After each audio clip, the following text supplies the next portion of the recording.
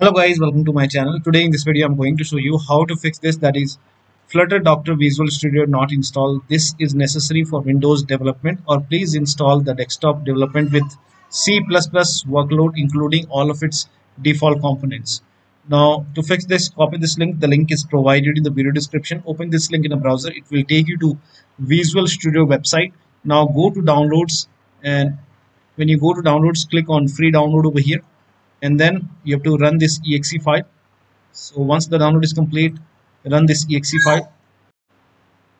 Now run this exe file and let the installation complete. Click on yes to allow.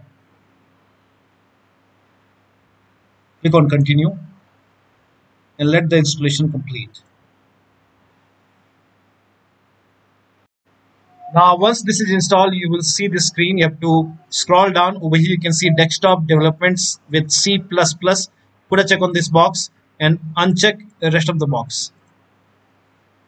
Now once you put a check over here now click on you will see install option or modify option.